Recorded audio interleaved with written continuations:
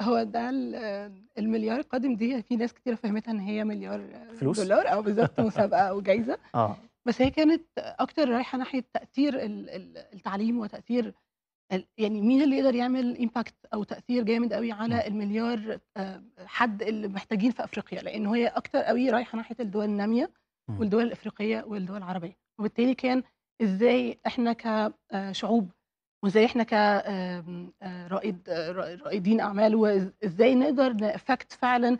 المليار دول، لإن هم عندهم مشاكل كتيرة جدًا، هو ال الforum ده كان مركّز على التعليم، ولكن هي المليار دول كانوا شايفين إن الناس دي محتاجة كل حاجة، من أول خدمات صحية، من أول خدمات تعليمية، كله، إحنا الإنسان، نقدر بنتكلم على بناء الإنسان. بالضبط إمم. كده، بالضبط، فهو إزاي إحنا نستخدم الtechnology ده بقى الforum كان مركّز عليه إزاي التعليم هيقدر يimpact حياة الناس دي، إمم. المليار القادم، فكانوا حاطين criteria معيّنة على أساسها إزاي نختار الشركات اللي فعلًا هتقدر تأثّر على المليار دول، لإن هو قُلت already قُلتها لي في كذا في قبل ما نتكلم يعني إنه التعليم هو أصلًا أساس بناء أمة، إمم. فهُم كانوا شايفين إن إحنا عشان نبني حياة المليار القادم نبدأ بقى بالتعليم.